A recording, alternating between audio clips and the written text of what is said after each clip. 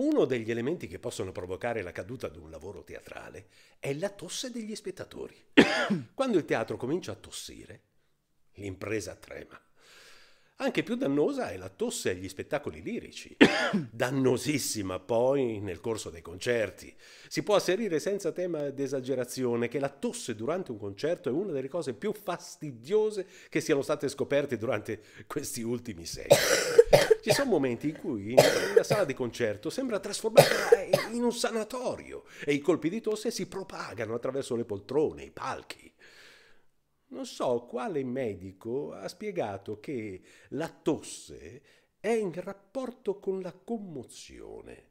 E questo ci direbbe perché i colpi di tosse scoppiano con maggiore frequenza eh, durante i pianissimo, pieni di malinconia.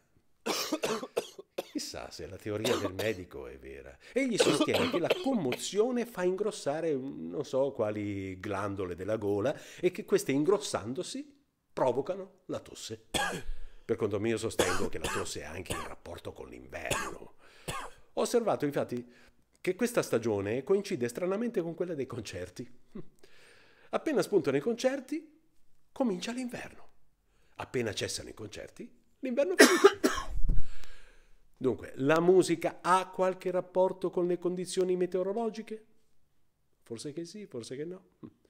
Comunque è probabile che se la stagione dei concerti coincidesse con l'estate, la commozione non farebbe tanto ingrossare le glandole della tosse, la quale tosse dà fastidio a quelli che sentono tossire, ma molto di più a quelli stessi che tossiscono, i quali sanno di dare fastidio agli altri.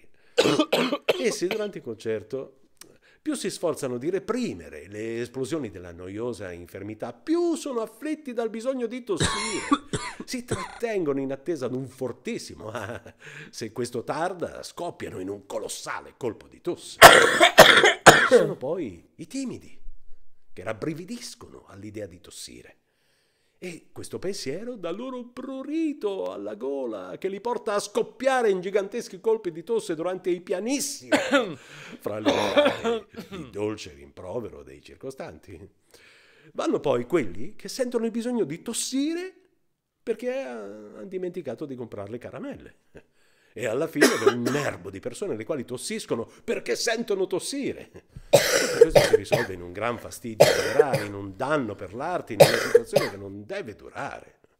Ma direte, come si fa a impedire alla gente di tossire? No, non è questo, signori, che si pretende. Io modestamente avrei una proposta che non soltanto eliminerebbe gli inconvenienti derivanti dal rumore della tosse durante le esecuzioni musicali, ma sfrutterebbe questa infermità a vantaggio dell'arte, senza aggravare il bilancio delle stagioni liriche. Si tratterebbe, in poche parole, di questo. Trasformare la tosse in uno strumento musicale. Mi spiego. Basterebbe che i musicisti segnassero nelle partiture, insieme con le parti dei violini, violoncelli, eccetera, anche la parte della tosse. Ogni tanto con un colpo di gran cassa, un colpo di tosse. Ogni... Questo strumento verrebbe suonato, per così dire, dagli ascoltatori, i quali non avrebbero bisogno di frequentare il conservatorio, basterebbe che si trattenessero un poco, stessero attenti al segnale del direttore d'orchestra. E quando questi con la bacchetta accenna alla platea, ai palchi, eh, giù! Perché ne hanno bisogno, fanno un colpo di tosse, o due o tre, a seconda delle indicazioni dello spartito, trasmesse dal direttore. Naturalmente dai movimenti della bacchetta il pubblico capirebbe se deve fare un colpo secco oppure una serie di colpettini di tosse rapidi e discreti, ci sarebbe il crescendo, il pianissimo e così via. Se la cosa pigliasse piede, visto che questi orchestrali non costano nulla alle imprese, si potrebbe disciplinare sotto la bacchetta direttoriale anche la falange di quelli che si soffia nel naso durante il concerto. Eh, ci pensino i musicisti e trovino il modo di iscrivere fra le parti degli strumenti a tempo per accrescere l'effetto dei loro pezzi parti per tosse, per starnuto e per soffiamento di naso.